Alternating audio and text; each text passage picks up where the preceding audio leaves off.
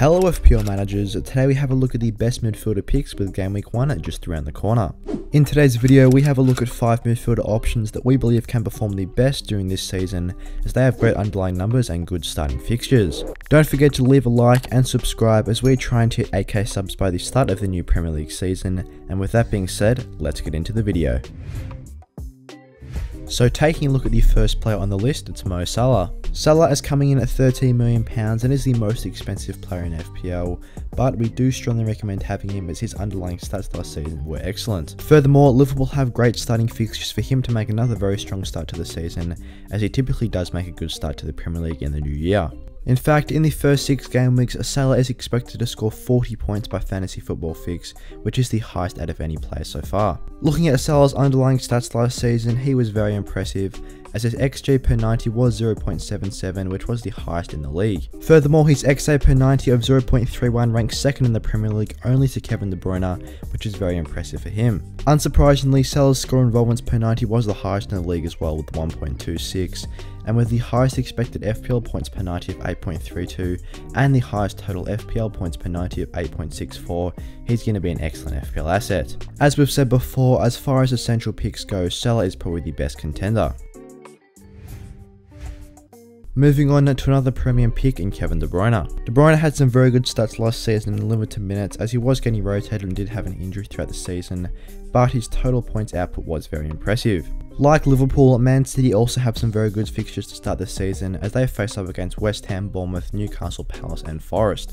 As a result, Fix predict Kevin De Bruyne to score 38 points in the first 6 game weeks, which does rank second amongst all players behind Salah. Looking at his underlying stats last season, his expected goals per 90 of 0.24 wasn't the best, but his XA per 90 did top amongst all players with 0.42. His actual score involvements per 90 though was very high, getting 0.61 goals per 90, combined with his FPL assists per 90 gave him a 0.94 score involvements. Consequently, this score involvements per 90 figure did rank 4th amongst all players last season that played at least 800 minutes. His expected FPL points per 90 of 6.48 is very impressive, and his total FPL points per 90 of 8.0 is also extremely high.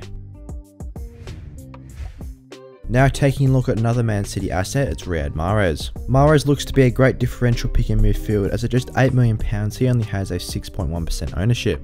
Despite many managers turning their backs to him, he actually has the fourth highest predicted points in the first 6 game weeks out of any player, only bettered by Salah, De Bruyne and Haaland. This figure is sitting at 35 points, which is actually only 5 behind Mo Salah in the first 6 game weeks, so definitely one to consider. As we've touched on, Man City have great fixtures for him to make a good start, and he also had some very good underlying numbers last season. His XG per 90 did rank second amongst all players that played 800 minutes last season, only behind Mo Salah, as this was sitting at 0.6. His XA per 90 was okay at 0.18, but he did have a very high score involvement of over 1. As a result, his expected FPL points per 90 did rank second amongst all players only behind Mo Salah, as did his FPL points per 90. So as we've touched on previously, with the departure of Sterling and Gabriel Jesus, I would be expecting Mahrez to be getting lots of starting minutes for Man City in that right wing role, and if that's the case, I'm sure he's going to be racking in those points.